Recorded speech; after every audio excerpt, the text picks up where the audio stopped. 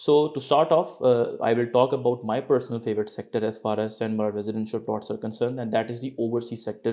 J of D H A phase five Islamabad ठीक है? आप D H A Pindi Islamabad के जितने फेजेस देख लें आपको किसी फ़ेज़ में एक ऐसा सेक्टर नज़र नहीं आएगा जहाँ पे एक्सक्लूसिव टेन मल्ला के रेजिडेंशियल प्लॉट्स ठीक है? व्हेन आई से एक्सक्लूसिव आई मीन कि यहाँ पे सिर्फ़ टेन मल्ला के रेजिडेंशियल प्लॉट हैं ठीक है? इस्लामाबाद हाईवे से आप कनेक्ट करेंगे 150 feet by D H express way को because that is the only in fact that is not the only access point आप दूसरे एरिया से भी सेक्टर जे को कनेक्ट कर सकते हैं बट वो आई बिलीव इतने कन्वीनियंट अप्रोच नहीं होगा टूवर्ड्स ओवरसीज सेक्टर जे तो सबसे कन्वीनियंट जो है ईजी अप्रोच वो 150 feet wide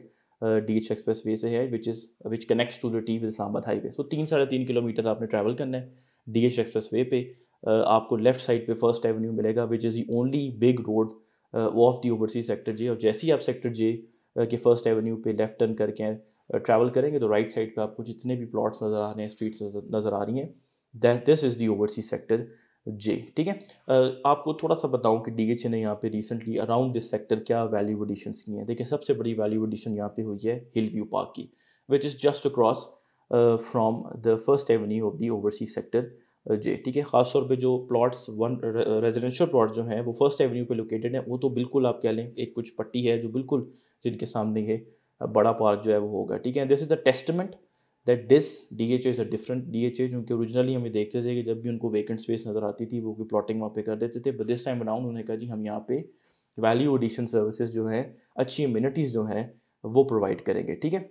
One of the biggest parks of D H A phase five Islamabad ठीक है? उसके अलावा ही आप जैसे ही अप्रोच करते हैं और आपको सेक्टर जे नज़र आना शुरू होता है डी एच एक्सप्रेस वे पे तो आजकल आप देखेंगे तो आपको मैकडोनल्ड्स का बोर्ड नज़र आ रहा होगा। सो मैकडोनल्ड्स भी जो है, वो सेक्टर जे से के बिल्कुल शुरू में जो है वो आ रहा है। जैसे ही आप फ़र्स्ट एवेन्यू को कनेक्ट कर करेंगे जस्ट बिल्कुल बिल्कुल उस पॉइंट पे जहाँ पे कनेक्टेड है first avenue with 150 feet by D H पे वहाँ पे मैकडोनल्ड्स का बोर्ड जो है वो लगा हुआ है। And there are rumours in the market के यहाँ पे और फ़ूड ब्रांड्स जो हैं, वो भी मैकडोनल्ड्स के साथ and it makes sense as well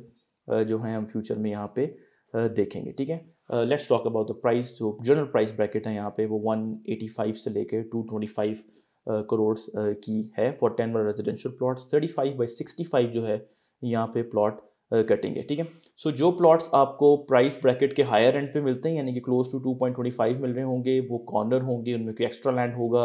या मे बी एवेन्यू कॉर्नर हो, इस तरह के जो ऑप्शन हैं, वो आपको टू ट्वेंटी फाइव के करीब आस्किंग प्राइस पे जो है, मिल रहे होते हैं। टू फिफ्टीन टू ट्वेंटी तक जो है, उनकी ऑफर्स आती हैं और डील्स जो हैं, वहाँ पे लॉक हो जाती हैं।